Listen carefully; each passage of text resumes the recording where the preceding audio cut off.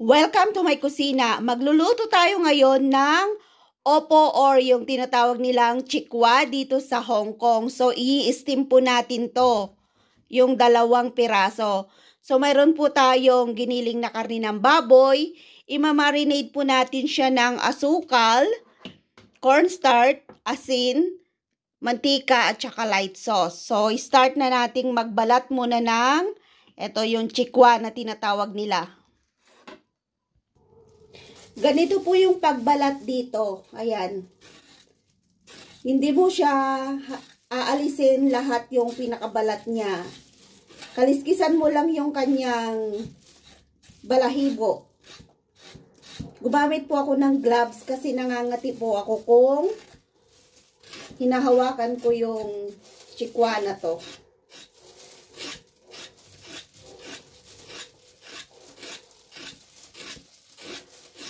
Mamaya hiwain natin to at lalagyan natin ng giniling na karne at i-steam natin.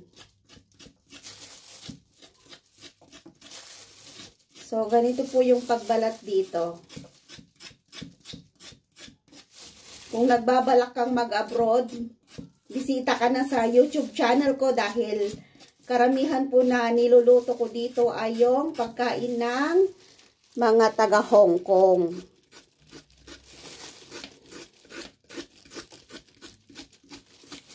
Yan.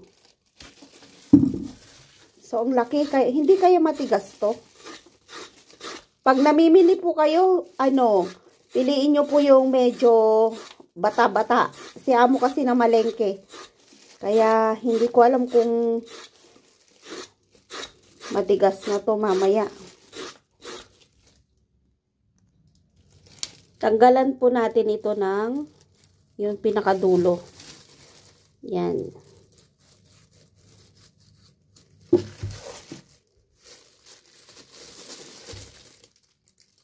Then, hugasan natin.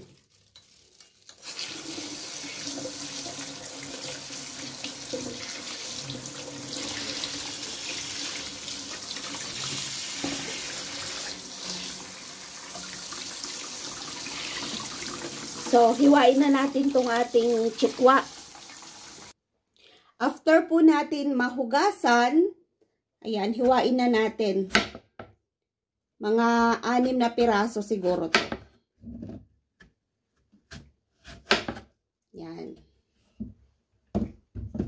So, ganito po yung paghiwa natin da, dahil iluluto natin siya sa steamer.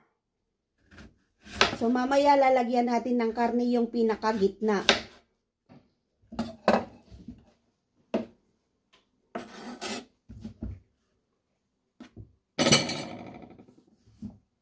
So, eto, hindi kaya matigas to. Hindi. Hindi siya matigas. So, eto, gagawin ko siyang apat. Medyo malaki ito. Ayan.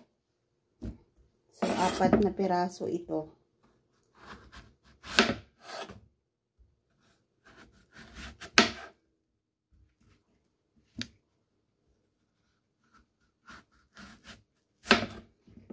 So, yan na po yung nahiwa natin. So, ang gagawin po natin dito ay alisan natin yung pinakagitna. Ito. Yan, iskopin natin. Yan, iskopin natin ito. Yung gitna. So, tanggalan po natin konti. Yan. Kasi dito natin ilalagay yung karne na i-steam natin. So, gagamitan natin ng kutsilyo. Mas matulis yung kutsilyo kaysa yung kutsara. So, tatanggalan po natin lahat ito. Ganyan po. Yan. Lahat ng hiniwa natin, tanggalin natin yung gitna. Kasi dito natin ilalagay yung karne. Lalagyan natin ng giniling na karne mamaya.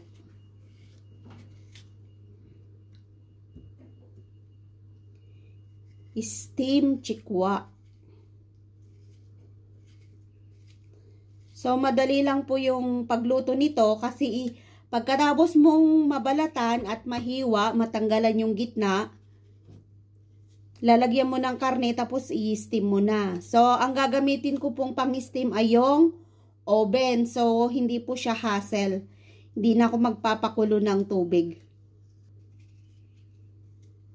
Nung bago pa lang po ako, hirap na hirap po akong mag magtanggal ng pinakagitna dito kasi nga bago pa lang ako, hindi pa ako sanay. Pero ngayon, yan, sisiw na sisiw na at ibinabahagi ko na rin sa inyo yung kaalaman ko dito sa Hong Kong. So kung balak nyo pong mag-abroad, nood lang po kayo sa YouTube channel ko o kaya sa Facebook ko. Na isinishare ko po dyan yung mga cooking tips na ginagawa ko dito sa Hong Kong. So, eto na po yung natanggalan natin at ilalagay na natin dito sa tray. Dito natin ilalagay at isim natin mamaya sa oven. So, dito ko po ilalagay kasi malalaki po yung binili ni Amo.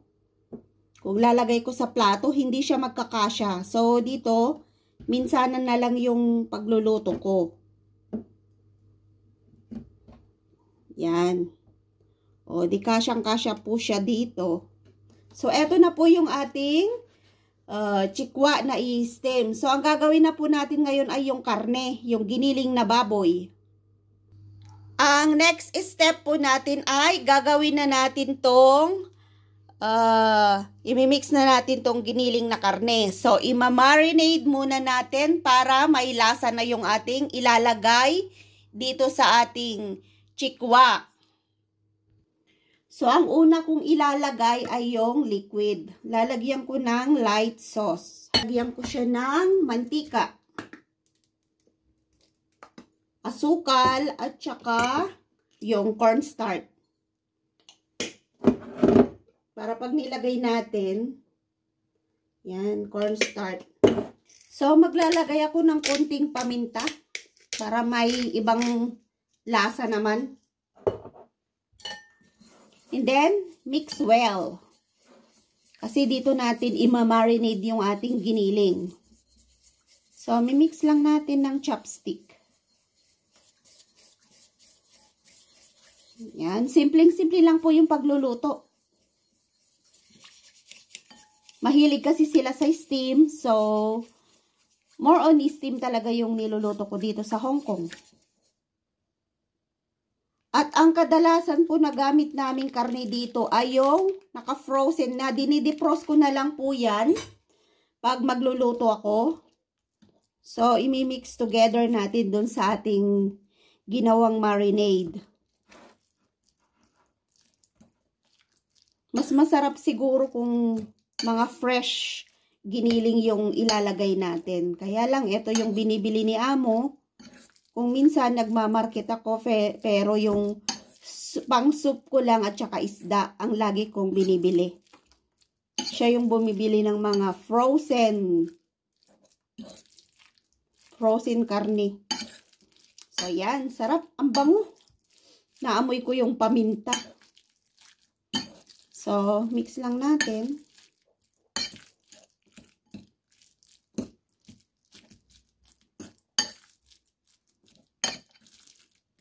Tsaka mamaya lalagay na natin dun sa hiniwa-hiwa natin na chikwa. Kaya upo. Walang ganyan sa Pilipinas eh. Yung may mabalahibong upo. So, ganyan po yung pag-marinade namin dito ng karne. Kahit anong karne po yung niluluto ko, minamarinade ko po siya ng ganito. So, yun lang po yung mga hinahalo ko lagi. Kaya yung ano, mga niluluto kong iba, nagtatanong kayo kung paano mag-marinade. So, yun lang po yung mga sangkap na nilalagay ko. So, yan, ready na. So, lalagay na natin dun sa ibabaw ng chikwa na ginawa natin. So, maglalagay na po tayo. Mas, mas prepare ko po kasi yung naka-gloves. Kaysa yung naka-chopstick. Depende po sa inyo kung ano yung gusto nyo. Gusto nyo mag-chopstick or gusto nyo mag-gloves. Lagyan lang natin ng konti muna kasi marami po tong ating chikwa na ginawa. Baka magkulang yung karni natin. So, kailangan nating i-balance.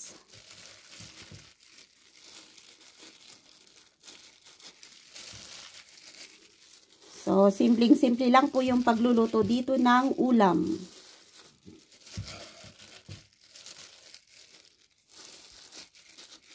Nasarapan kasi sila amo ng ginawang ko sila ng ganito nun.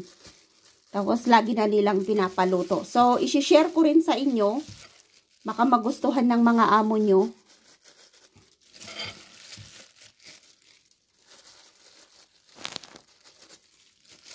At kung may matira, magdadagdag po tayo dun sa nilagay natin na ano, na serving. Yan, may konti. So, dagdagan natin. Lalagay natin lahat yung karne.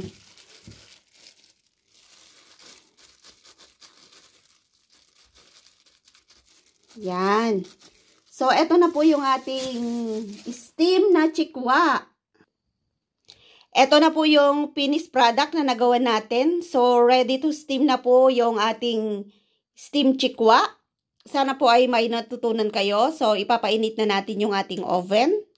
So, siguraduhin po natin na yung oven natin ay mainit bago natin ilagay yung ating i-steam. Make sure po na may tubig yung steamer ng oven.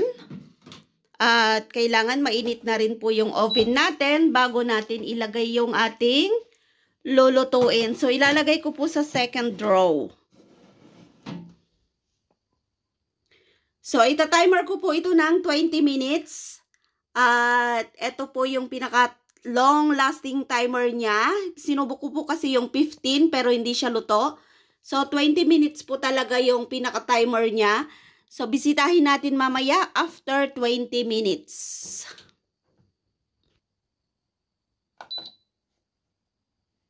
Yan, 110. So, 20 minutes.